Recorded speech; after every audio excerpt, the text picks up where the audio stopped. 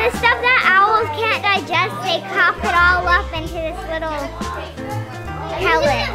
Today, third graders are dissecting owl pellets so they can see the food chain in action and they can also see adaptations that barn owls have. And they collect oh, them and they Hands are really cool. I, yeah, so that's what they do.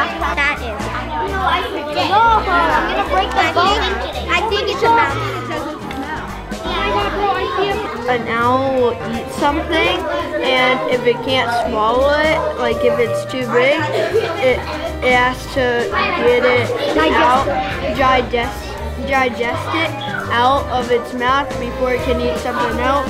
And we're opening an owl pellet right now. This is so gross. There might be a skull inside. I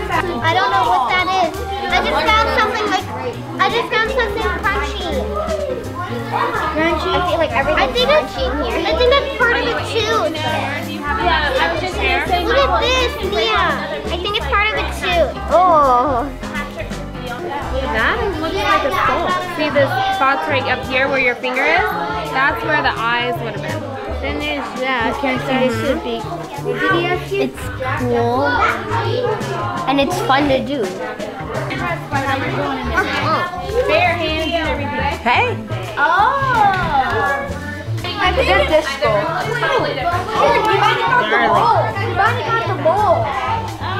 We found found some bottom jaws. We found some skulls. Okay. We found some pelvic bones. We found some lips. I found some other bones that I have no idea what they are. And yes, there's a lot of them. We found three skulls. So here's one of the skulls. Others. I actually want to do my favorite. Wait, would I have any limbs? This is the skull. I think it's a mouse. So, and these are the two jaws that are supposed to be attached to it. And yeah, I think this is the limb part. So that's pretty cool.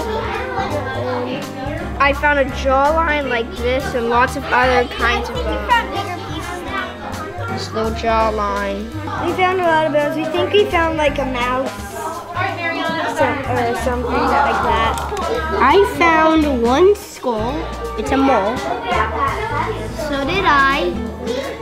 And Owen found one skull, which is a mole. I found a couple jawbones, which are supposed to be attached together. I also have a few limbs. What'd you find? the jaw, um, the skull, the, um, some nails, and a beak. So we found two skulls.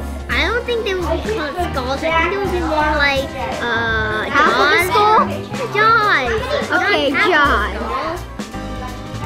And we found a few bones, vertebrae, teeth, and lots of teeth.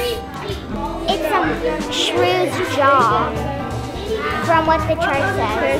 Because it has that one there. I think it's an omnivore because it has that really sharp tooth and then it has these um, other teeth in the back to like eat all the vegetables. I think this is cool. I thought it was